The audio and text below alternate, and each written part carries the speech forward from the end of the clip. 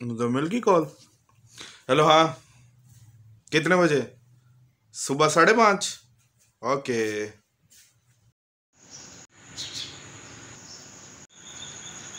Time हो गया लेकिन अभी तक आया नहीं है तो उम्मीद है ये भैया आ ही गया पीछे. हाँ जी सर जी पहुँच ही गए हैं आप फिर फाइनली कर अल्लाह का. साढ़े पाँच. और हम हैं इस टाइम मुल्तान रोड पे और मैं और मुजम्मिल जा रहे हैं कहाँ पे? ये हम आपको थोड़ी देर तक आगे जाके बताते हैं कि क्या सीन है। सीन के हमने सोचा यहाँ पे हम उड़ाएँ ड्रोन लेकिन जो चील कवे हैं उन्होंने इतना तंग किया कि हमने अपना इरादा बदल दिया। तो बिस्मिल्लाह करते हैं अपनी आज की मोटो ब्लॉगिंग को तो चलते हैं अपने रास्ते पे। अब हम सबसे पहले क्रॉस करेंगे रावी का पुल और मेरे ख्याल से लाहौर का सबसे पुराना पुल है जब से लाहौर बना या जब से लाहौर अलहदा हुआ है बरसगीर से। इसके बाद हमारे जो लेफ़्ट साइड पर है वो है जी कामरान मिर्ज़ा की बारादरी। इसको कामरान मिर्ज़ा की बारादरी क्यों कहते हैं और इसकी थोड़ी सी हिस्ट्री वगैरह ये आप मेरे ब्लॉग में देख सकते हैं, जो कि मैंने ऑलरेडी ब्लॉग बना चुका हूँ इसका। लिंक मैं डिस्क्रिप्शन में डाल दूँगा। इसके अलावा मेरे जो राइट साइड पर है वो जी मेट्रो का ट्रैक चल रहा है। मेट्रो का ट्रैक यहाँ पर आने से एक नुकसान ये हुआ है कि यहाँ पर पुल थोड़ा सा छोटा कर दिया गया है चूँकि सेंटर में मेट्रो का ट्रैक है और बस चलती है एक साइड पर ट्रैफ़िक और सेकंड साइड पर ट्रैफ़िक, यानी कि एक लेफ़्ट साइड पर ट्रैफ़िक, एक राइट साइड पर और दरमियान में ट्रैक है, जिसकी वजह से पुल की चौड़ाई जो है वो कम हो गई है। इसके अलावा यहाँ पर आप देख रहे होंगे, ये कुछ लोग खड़े हुए हैं, गोश्त उठा के, ये बेसिकली सदक़े का गोश्त है। इसको लोकल ज़बान में यहाँ पर चील गोश्त भी कहा जाता है। तो ये कुछ पैसे लेके आपसे आपका सदका उतार के फेंक देते हैं। इसके अलावा हम आगे चलते हैं और आगे हम अब क्रॉस करेंगे इसका शदरे का टूल प्लाज़ा और टूल प्लाज़ा क्रॉस करने के बाद हम एंटर हो जाएँगे शदरे में। शदरे में सबसे मोस्ट इंपॉर्टेंट चीज़ क्या है? वो अगर मशहूर चीज़ भी गए तो इसका यहाँ पर एक इशारा आता है आगे। इस इशारे की ये खासियत है अगर आप इस इशारे पर फंस गए तो फिर आपको तीन चार घंटे आपके पार हैं। लेकिन हम लकीली सुबह के टाइम पे है यहाँ पर और मोस्ट प्रॉब्ली यहाँ पे ट्रैफ़िक नहीं होगी। तो चले देखते हैं। तो जैसे कि आपने देखा कि इस टाइम ट्रैफ़िक बिल्कुल भी नहीं है, लेकिन एक गलत चीज़ ये हुई है कि यहाँ पर इशारे इस टाइम हुआ है और ट्रैफ़िक रैंडमली आ रहा है। लेकिन हम एहतियात से बाइक चलाएँगे ताकि हम स्लोली से साइड से होके निकल जाएँ चूँकि हमने आगे भी मोटर ब्लॉगिंग करते हैं। हुआ कुछ ऐसा सीन के इशारा ना लूज हो गया था तो मुजम्मिल साहब इसको टाइट कर रहे हैं, क्योंकि रास्ते में थोड़ा सा एरिया थोड़ा सा ख़राब सा था तो इसकी वजह से खैर टाइट हो गया, अब हम चलते हैं आगे। हम क्रॉस कर रहे हैं मुरीद के। मुरीद के के बारे में थोड़ी सी मैं आपको बता दूँ, इसको बेसिकली पीस ऑफ़ सिटी भी कहा जाता है, यानी कि अमन का शहर भी मुरीद के को कहा जाता है। अब मैं बात करता हूँ यहाँ पर मुरीद के। मुरीद के में बेसिकली काफ़ी लोग आबाद हैं और मरीद के कुछ चीज़ के लिए फ़ेमस भी है। और फ़ेमस वो इस चीज़ के लिए कि यहाँ पर बहुत से ही मशहूर क्रिकेटर यहाँ पर पैदा हुए थे। जैसे कि कुछ के नाम मुझे पता भी हैं, जैसे कि इकबाल मैश जाफ़र नज़ीर, बिलावल भट्टी, इमरान नज़ीर। ये कुछ यहाँ के क्रिकेटर हैं जो कि इंटरनेशनल लेवल पे भी खेले हैं। कुछ इतने फ़ेमस नहीं हुए बट इंटरनेशनल लेवल पे खेले हैं। इसके अलावा कुछ फ़ीमेल्स भी हैं, जिनमें से एक का नाम मुझे पता है, सबा नज़ीर। ये भी इंटरनेशनल क्रिकेट में खेल चुकी हुई हैं। तो मुरीद के बेसिकली जो है, इतना बड़ा सिटी नहीं है। पाकिस्तान का मे बी फिफ्टी से ऊपर की सिटीज़ में आता है। छोटा सा सिटी है और इसकी तहसील जो है, शेखपुरा है।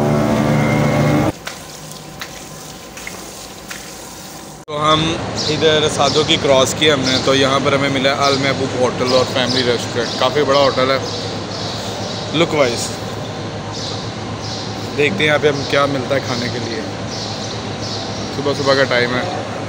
दिया ऑर्डर दिया हम लोगों ने चने और पराठे। यहाँ पे नान का कॉन्सेप्ट नहीं है, पराठे चल रहे हैं। खैर, हमने थोड़ा ही मंगवाया है। क्योंकि मैं कोई चनों के साथ पराठा इतना लाइक नहीं करता, क्योंकि हम कुलचे वाले बंदे हैं। पराठे परूठे में पसंद नहीं है नाश्ता मैं आपको दिखाता हूँ क्या है। चने, और ये है जी हमारा तंदूरी पराठा। अब हम खाते हैं जी तंदूरी पराठे को टेस्ट ले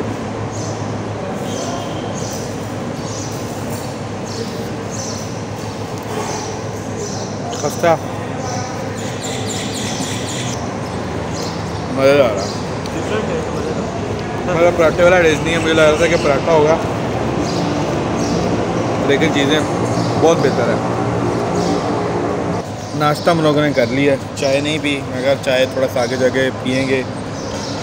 एक जगह सारी चीज़ें नहीं ट्राई करनी डिफरेंट जगह से ट्राई करते हैं। बाकी इनका खाना ठीक था, लेकिन थोड़ा सा हैवी था। मुझे तो ऐसा इतना पसंद नहीं आया। पसंद आया है लेकिन ना मतलब हैवी ज़्यादा जिसकी वजह से आप ज़्यादा क्वांटिटी में खा नहीं सकते। पराठा खस्ता खाल है अच्छा है। सॉफ्ट है फ्रेश है चने भी फ्रेश हैं टेस्ट वाइज भी गुड है।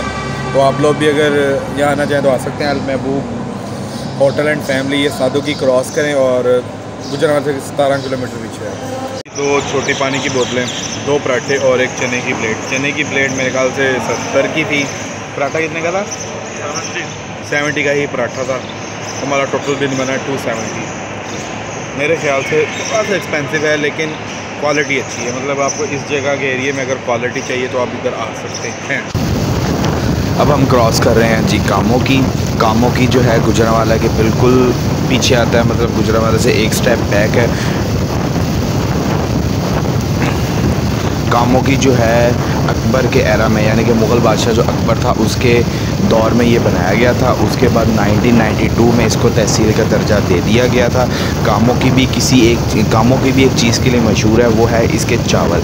कामों की में डिफरेंट तरह के चावल बनाए जाते हैं और ये एक पाकिस्तानी लेवल पर मतलब पूरे पाकिस्तान में सप्लाई भी किए जाते हैं। और उन चावलों में ये basmati, super basmati, kernel etcetera है और ये पाकिस्तान की जो है एक बड़ी सिटीज़ में से एक सिटी आया जाता है। पाकिस्तान की ये तकरीबन जो है, तीसरी बड़ी सिटी है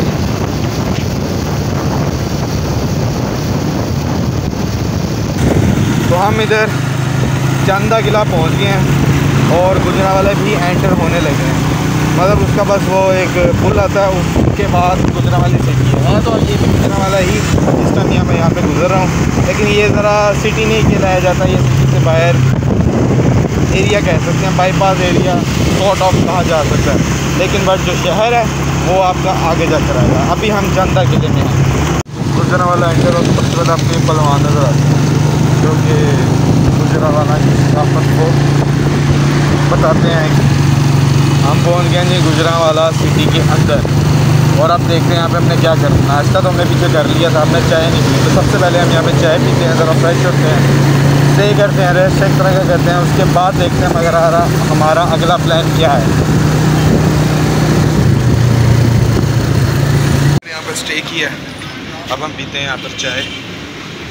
फिर सोचते हैं हमने आगे क्या करना है क्योंकि गर्मी बड़ी, शिद्दत की बढ़ गई है और थकावट भी हो गई जो कि काफ़ी देर से जो है ना बाइक को मैं चला रहा था।